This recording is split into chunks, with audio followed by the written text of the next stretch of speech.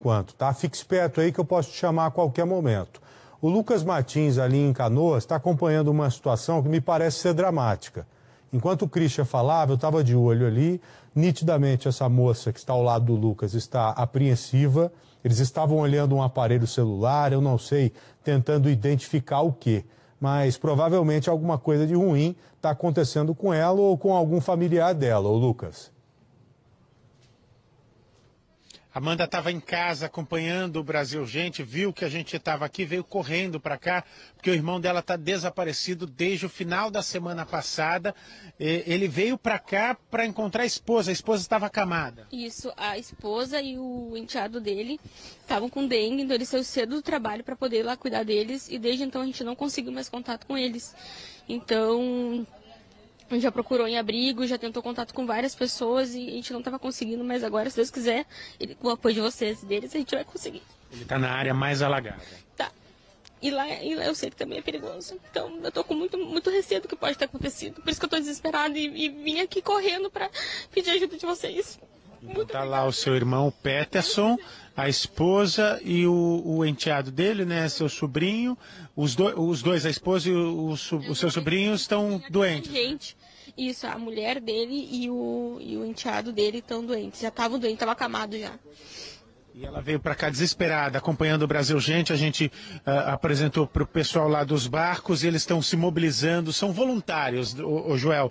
É, pessoas que deixaram suas vidas, deixaram suas casas, suas famílias para vir para cá. A noite baixou, eles já estavam encerrando o trabalho por hoje. A Amanda chegou aqui e eles mais uma vez estão abastecendo o barco, colocando o barco na água para partir em busca é, desse rapaz, para tentar localizar.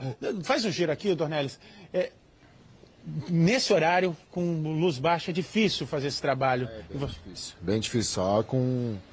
A gente tem que botar um militar no barco para poder ter poder de fogo, né? Porque agora o pessoal começa a realizar alguns saques lá também, então é perigoso para até mesmo para os resgatistas. Mas você já está com a localização aí, vai? A localização ali dos parentes dela, a gente vai descer até lá embaixo Vamos buscar ele, a gente vai buscar ele. Em torno aí de, se a gente sair daqui agora, em torno de uma hora, uma hora e meia, a gente está de volta com eles aí. Nossa. Esse é o trabalho que é realizado, repito, por voluntários, pessoas que deixaram suas casas, deixaram suas famílias para vir aqui tentar ajudar. Gente como a Amanda, que está em busca dos parentes dela, como, dos familiares dela, Joel. Como que eles conseguiram essa localização exata? Eu vi ele mexendo ali no celular. Ela que conseguiu identificar no mapa com precisão e ele que marcou na sequência isso. ali, Lucas, foi isso? Exatamente. exatamente. Ela conhece a casa do irmão, tem lá, e o problema é que as ruas aqui não são exatamente, não, é, não é uma linha reta. A rua União, que é a rua tá onde dela, ela é dividida em três partes. Então você apontou exatamente ali o pontinho, né? Isso, exatamente o endereço para a gente poder conseguir encontrar ele. E a esperança da Amanda, que eles estejam em casa, estejam bem, porque muitas das casas aí estão submersas. A, a, falta de informação, é importante dizer isso, a falta de informação, a falta de notícia, não quer dizer que algo de pior tenha acontecido com determinada pessoa. Porque hoje está carecendo de sinal de internet, está carecendo de sinal de televisão.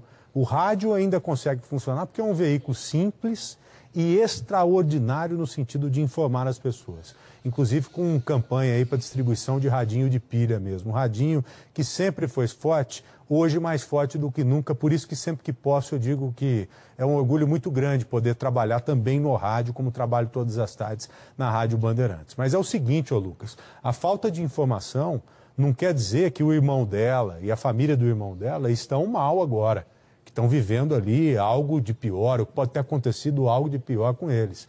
Talvez eles estejam ilhados e sem condição de mandar a notícia para ela ou para qualquer outro familiar. Falar, olha, estamos bem aqui, é estamos aguardando o retorno, não precisa se preocupar.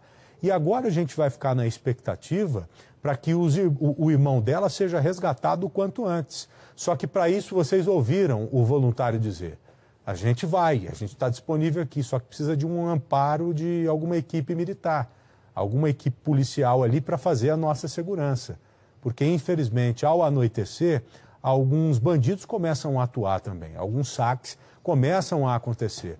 Eu vi perto do Lucas há pouco também algo que temos que salientar, que temos que reforçar, a presença da Força Nacional de Segurança. Estava previsto para chegar em Porto Alegre pelo menos aí 400 militares da Força Nacional de Segurança.